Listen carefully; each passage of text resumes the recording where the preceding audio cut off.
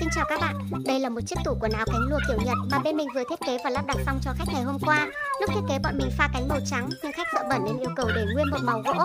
Thế mà lắp lên cho màu sang thật, khách ưng hết nấc. Mạo gỗ 195P nhé các bạn.